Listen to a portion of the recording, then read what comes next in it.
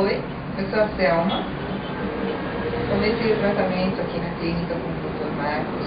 Fiz uma sessão de hipnose e ele também fez a acupuntura. E uma semana eu tive assim uma diferença bastante significativa.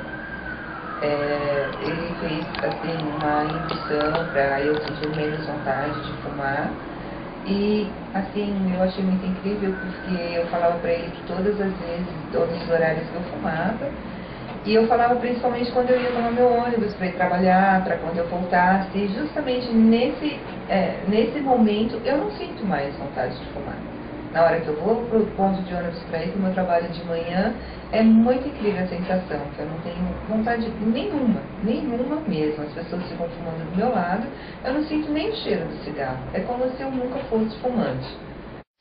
E também senti bastante tranquilidade. Eu, assim, eu andava muito triste e eu senti que essa tristeza está diminuindo bastante. Eu tenho momentos de bastante paz e assim algumas alegrias, não euforia, mas uma sensação de, de alegria assim, bem interior, uma coisa bastante gostosa. Muito bem, dona Selma. Então, com uma sessão apenas de hipnose e acupuntura, já percebeu algumas melhorias importantes. Você que